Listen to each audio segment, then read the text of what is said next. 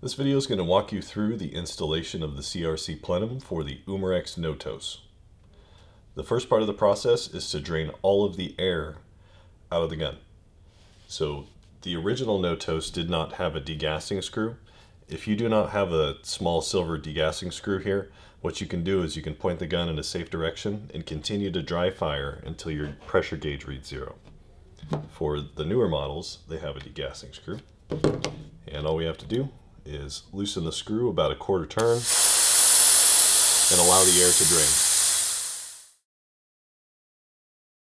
Once all the air has been drained out, be sure to check the pressure gauge, make sure it reads zero before going any further. We can tighten back, tighten the screw back down for now.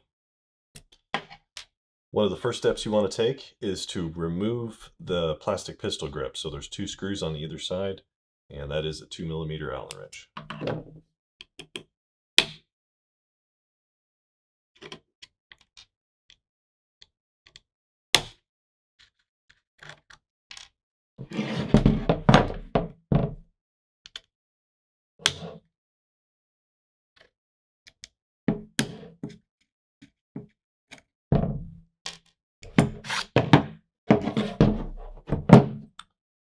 Once you've removed the grip, you can loosen the trigger mechanism.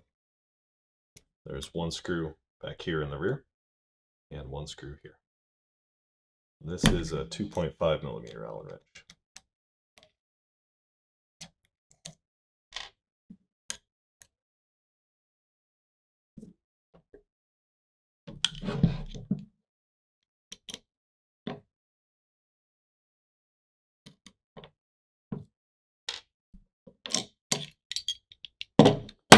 Be careful when mm-hmm. you remove the trigger mechanism. There is a small spring here that can pretty easily get lost. So we got to make sure that goes back correctly. At this point, you can unscrew the air tank. So if it's a brand new Notos and you've never taken this off before, it might be a little tight. I would try not to use pliers, but if it's on that tight, maybe wrap it with a a nice thick rag before you grab it with pliers so that it doesn't mar the surface. Once the tank is unscrewed, we have to remove the barrel. And the barrel is removed by first by starting with this screw here. So this is a 2.5 millimeter Allen wrench. And underneath that screw, there is another screw. And that one is a 2 millimeter Allen wrench. So down inside that hole, there's a small set screw. We don't need to take that one out. Just need to loosen it, maybe two or three full turns. Once you've got that screw loose, you should be able to pull the barrel out of the receiver. Try to twist the barrel out so that it doesn't damage the O-rings. The O-rings on the Umarex Notos are pretty pretty sensitive, and there's also some sharp edges in here that tend to cut the O-rings as you install or remove them. So do your best to be careful with that. There are spare O-rings for the barrel in the spare, spare parts kit. As you're going through this process, take a look at all of the different O-rings, and if you see any that are damaged, there should be one in the kit to replace place any damaged O-rings you find in the process. Now that we've gotten this far, all we have to do is remove this part and install the CRC plenum. So there are two screws on the front that need to be completely removed.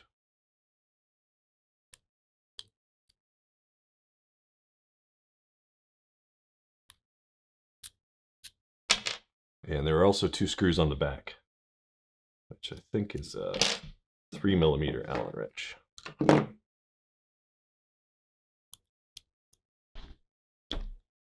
As you're loosening these two screws, there will be a little bit of spring tension pushing this part away. So be careful to control it while you loosen the screw so that no, none of the parts go flying from the spring.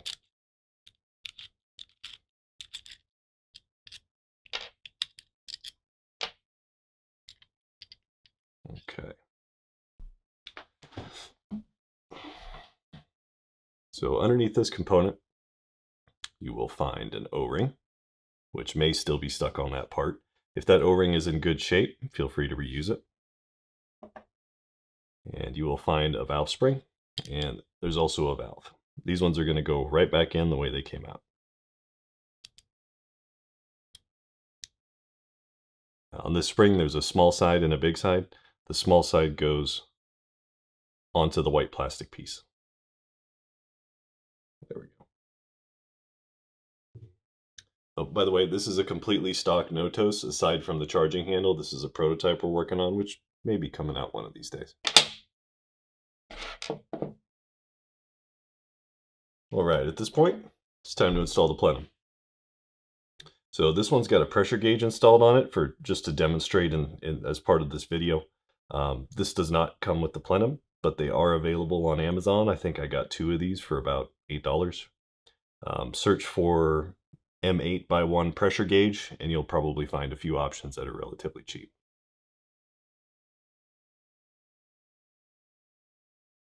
So we got to put an O-ring onto this side. Again, spares if you need them. And we will put this on in place of the original part. So this is held on with a spring. It's pushing away with a spring, I should say. So you kind of got to hold it while you install the screws. I'm going to start with these two because they're a little bit easier for me.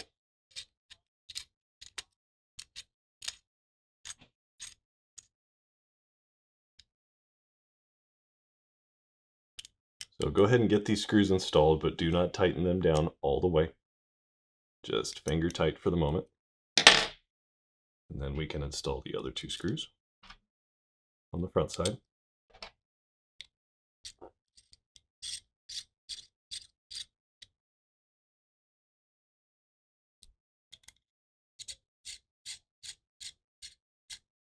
And again, finger tight with these two screws.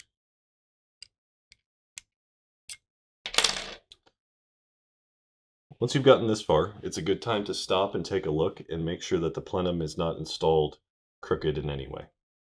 If it is, definitely stop, disassemble it, figure out why it's crooked, and get it on there nice and straight before you completely tighten down the, the four screws. This one looks good, so I'm going to go ahead and tighten it down. Also be very careful not to strip these screws. They are fairly delicate.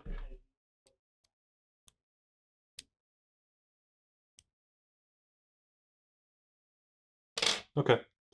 The plenum's installed, and now all we have to do is reassemble in the opposite order that we took everything apart. The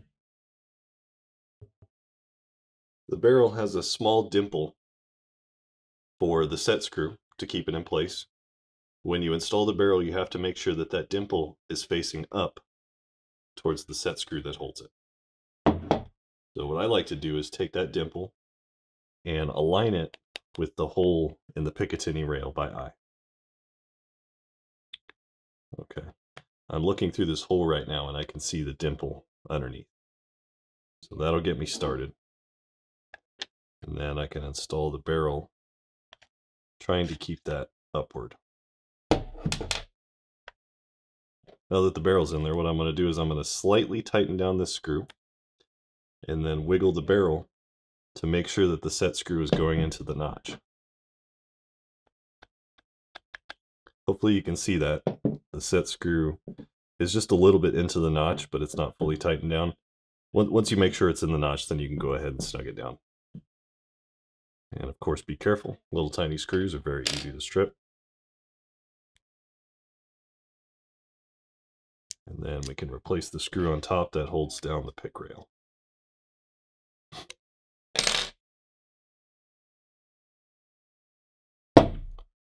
Now that the barrel is installed, we can make sure the spring goes back in. It's um, important to make sure that the spring is standing straight up. If it's crooked, the trigger assembly will not go back together correctly. Um, usually these are held in with a little bit of grease, and the grease kind of helps keep it in position while you do your assembly.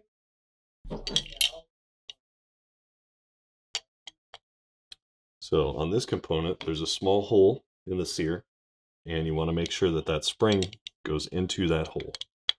If it does not, the trigger mechanism will not work correctly. So I'm going to adjust the spring as I put these two pieces together to make sure that the spring goes where it's supposed to. And then these two pieces need to be held together while you tighten down the screws because the spring will pull them apart if you don't.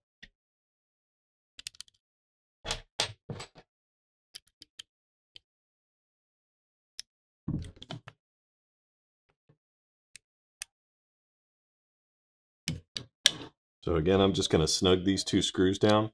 I don't want to tighten them down all the way just yet. I want to make sure it's assembled correctly and in the correct position.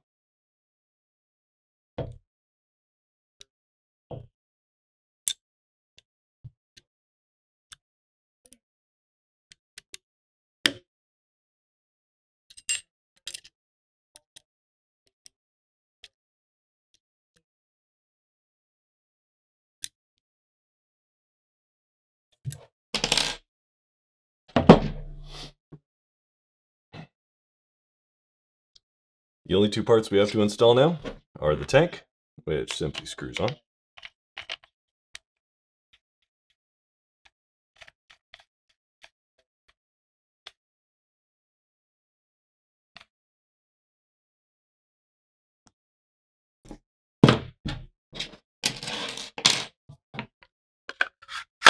And we've got the pistol grip, which goes back on with four screws.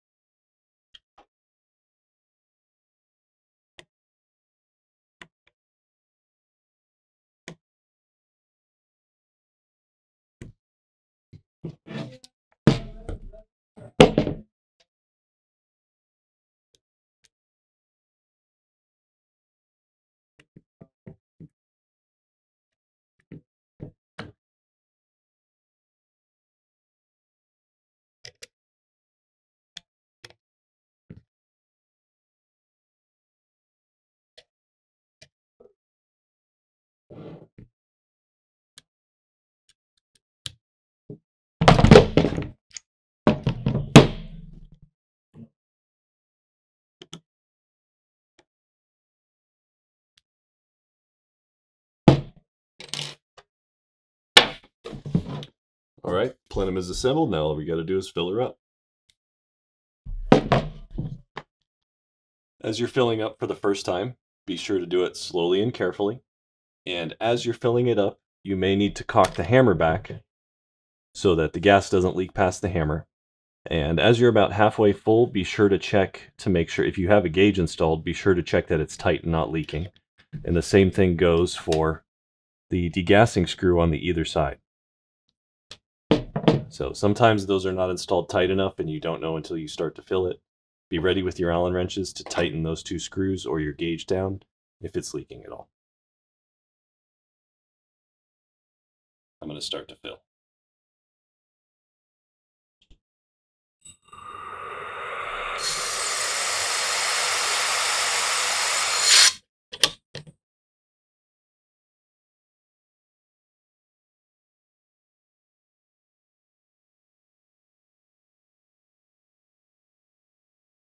Okay, we've got some pressure in it.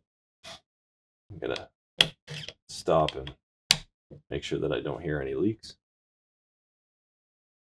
Seems okay.